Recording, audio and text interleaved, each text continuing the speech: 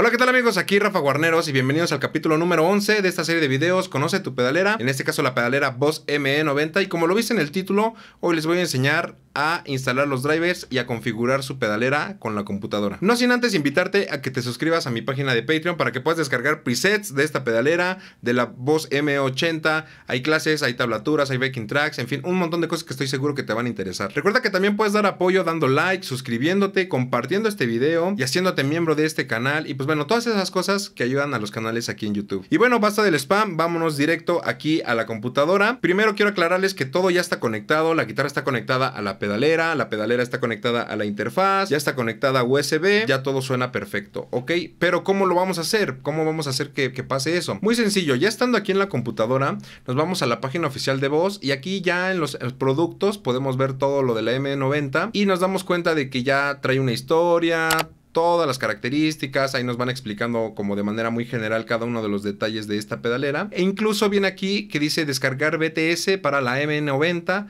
para iOS o para Android. Esto es por si tú adquiriste el accesorio que va acá atrás de la pedalera y lo puedas controlar desde tu celular o desde tu iPhone. Si no, pues es muy sencillo. Mira, aquí mismo en la página te puedes ir a descargas y nos va a abrir esta, este menú donde tenemos las actualizaciones y los drivers. Aquí yo te sugiero que lo hagas con mucho cuidado, no por espantarte, sino más bien porque tiene su chiste. No, no estoy diciendo que sea difícil, pero eh, necesitas hacerlo paso por paso e ir leyendo con cuidado. No quieras luego, luego instalar todo y a ver que ya funcione, ¿no? Todo con calma. En mi caso, yo utilizo Windows, entonces tuve que descargar todos los que dicen Windows.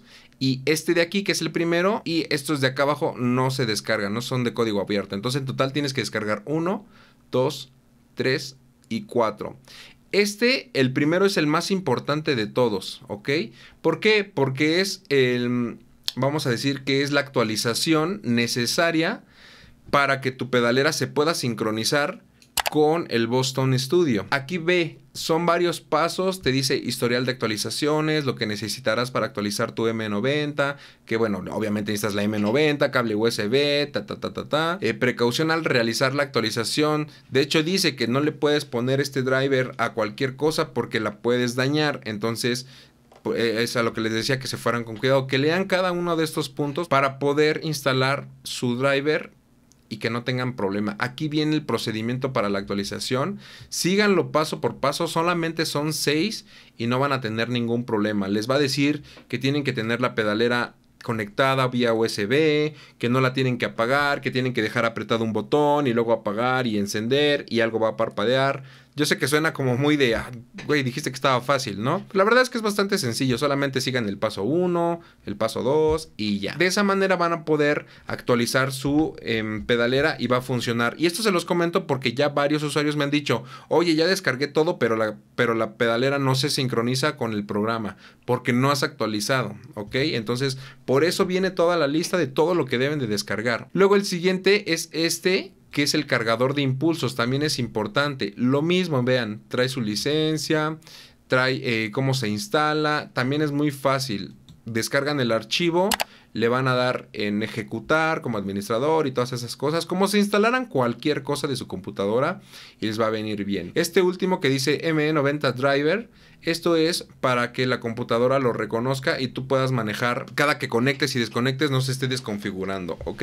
Entonces les repito, el primero es para actualizar el software de la pedalera y que se sincronice con el programa de la compu. El segundo es propiamente ya el programa de la computadora. El tercero que van a descargar, el cargador de impulsos, es para que ustedes le carguen impulsos a su, pedalera, a su pedalera si es que los tiene. Si es que no los tiene, no pasa nada. Por default les va a venir uno. Y el cuarto es un driver para que a la hora de conectar y desconectar la, pedalera no se desconfigure. ¿Ok? Ya teniendo instalado todo, ahora sí, se van aquí a su buscador y le ponen Boston Studio para el 90. Y vean, automáticamente se sincronizó.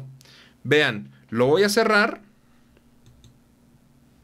voy a desconectar el USB, vuelvo a abrir el programa y me sale esta pantallita. Entonces, esto a ustedes les va a salir si no tienen conectada la pedalera mediante el cable USB. No les va a funcionar, tienen que conectarla y automáticamente lo reconoce la computadora y seleccionamos el de en medio. Le damos OK y ya se sincronizó.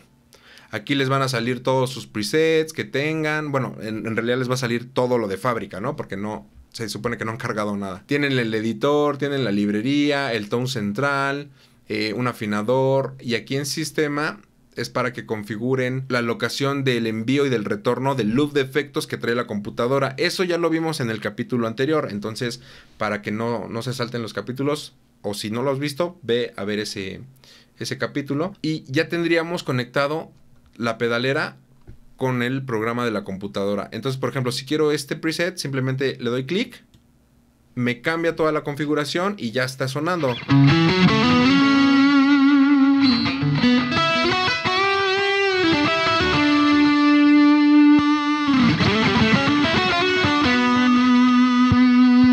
Puedo poner este.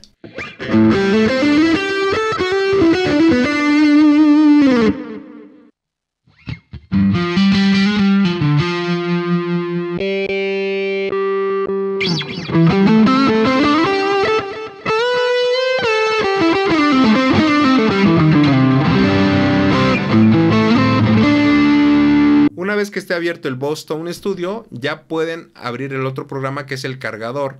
Entonces vean, ya lo tengo aquí y les abre otra pestañita. Y les va a decir lo mismo.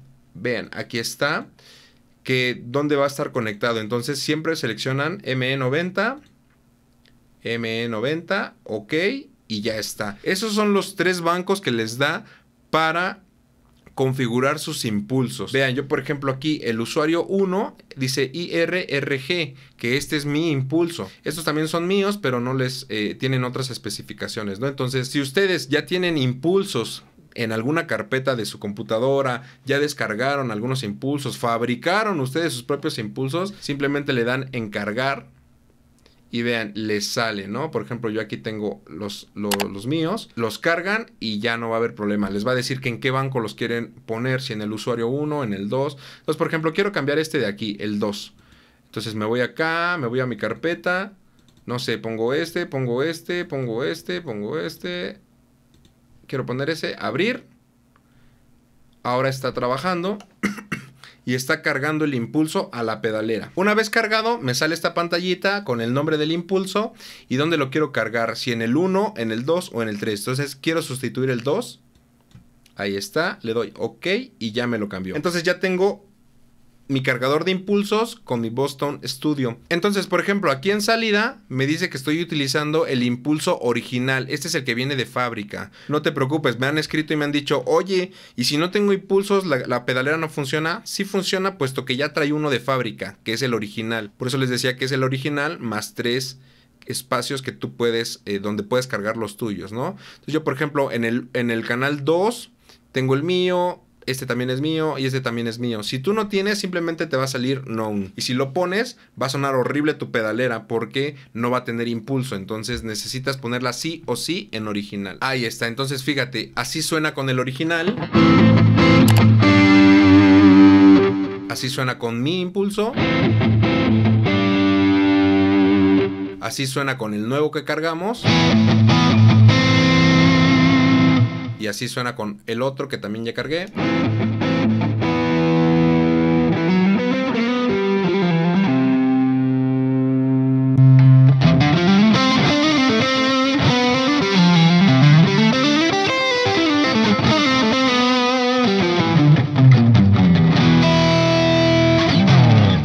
Aquí va a variar mucho, de hecho lo dijimos en el unboxing de esta pedalera, que entre mejor sea tu impulso, entre mejor calidad tenga, pues tu pedalera todavía va a sonar muchísimo mejor. Si tú le cargas un impulso muy económico, pues no va a sonar tan bien, ¿ok? Básicamente ya tendríamos todo configurado. Ya lo que yo te recomiendo es que, en mi caso, por ejemplo, como puedes ver, la tengo aquí en la mesa y estoy viendo los parámetros, entonces no me tengo que acercar a nada físicamente a mover en las perillas, simplemente lo hago desde, desde el programa, ¿ok? Entonces me puedo ir aquí, cambiar los parámetros, ta, ta, ta, ta, ta, este no lo quiero, este quiero un poquito más para acá, este de aquí, quiero menos, quiero un poquito más de aquí, esto quiero un poquito más para acá, etcétera, etcétera. Y simplemente me puedo ir acá arriba y darle escribir y ya lo guardo como yo, como yo quiera, ¿ok?